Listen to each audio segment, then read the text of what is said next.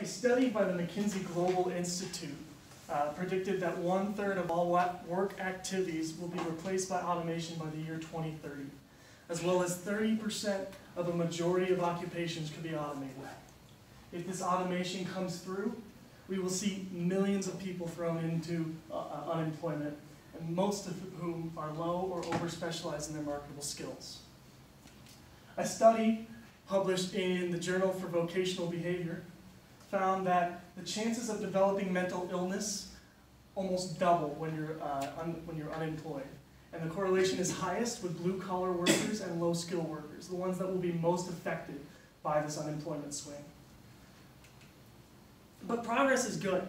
Automation, uh, you know, produces cheaper products, it produces things faster, and it will overall make the workplace safer. So how do we, how do we embrace, uh, how we embrace progress while also tackling an economic crisis that is ahead of us?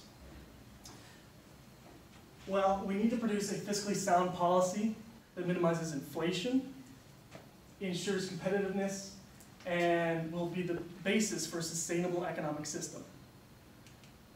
Universal basic income has risen as an answer to this crisis.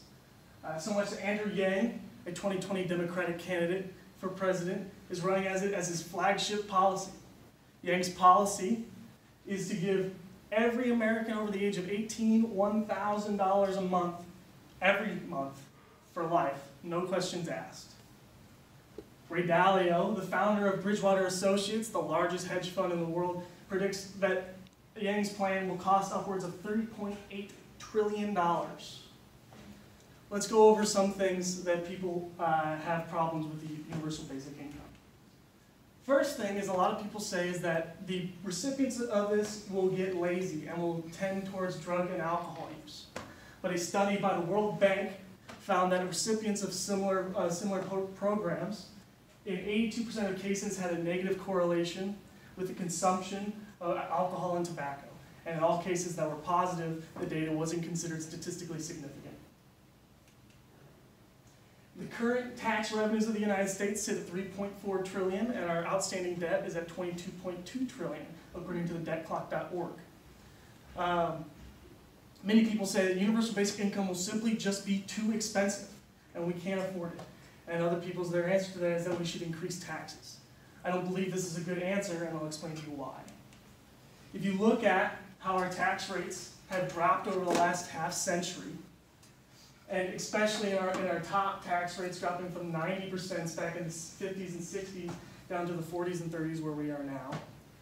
And then if you also look at our tax revenues staying at about 25% of GDP, we can draw that we, we, we can figure out that unless we unless we have a significant increase in GDP production, we simply won't get enough revenue to fund universal basic income by increasing taxes. So we need to look into our budget and find what we can cut and replace with universal basic income. Which is why I suggest we eliminate the minimum wage, abolish Social Security, and eliminate federal welfare funding. I'll go into this. So for minimum wage, uh, the usual argument for minimum wage is they need a living wage. People need to be comfortably, and they shouldn't live below the poverty line.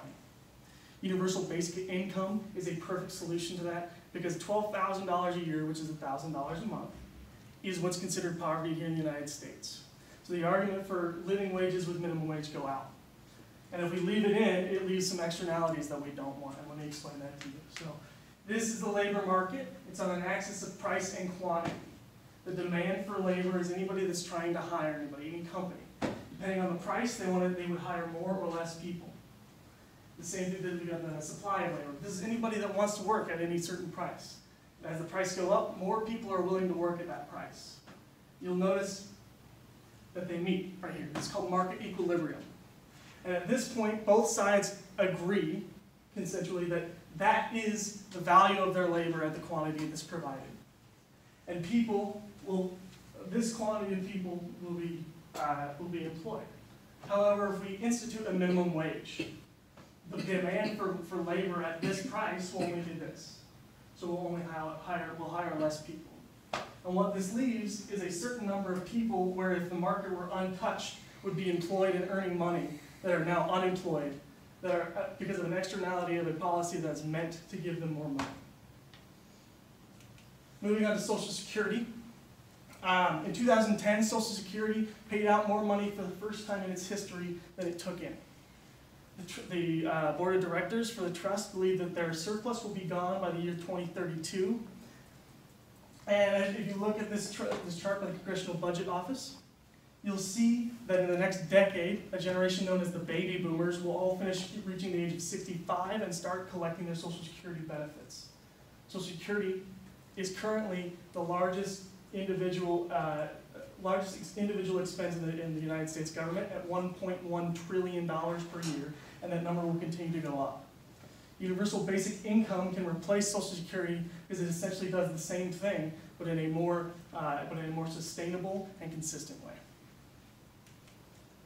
The argument for eliminating welfare is very similar to Social Security because, uh, it, because it's, uh, it, universal basic income can step in and do essentially what welfare intends to do, except it is, except it is more straightforward and direct.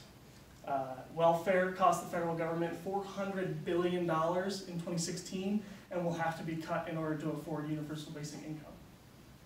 Uh, Nobel Prize winning economist Milton Friedman was in favor of a basic income as a replacement to the welfare system because he believed that it was more efficient, got rid of government bureaucracy, and, um, and would produce a more efficient uh, free market. So in conclusion, our, our uh, society is on an exponential curve of automation, and we could be progressing ourselves into an economic crisis. Universal basic income has come up as an answer that could solve this crisis. However, concerns over the price tag and, and understandable inflation means that it doesn't fit in in our current system of government benefits. We went over solutions such as eliminating the minimum wage and welfare programs as well as social security to make a- as uh, reasonable and necessary amendments to universal basic income to ensure that it's a fiscal policy that is sound, minimizes inflation, ensures competitiveness, and will be the basis for a, for a stable economic system. With the information that I've given you today, I hope that you remember it the next time you enthusiastically talk about US fiscal policy. Thank you.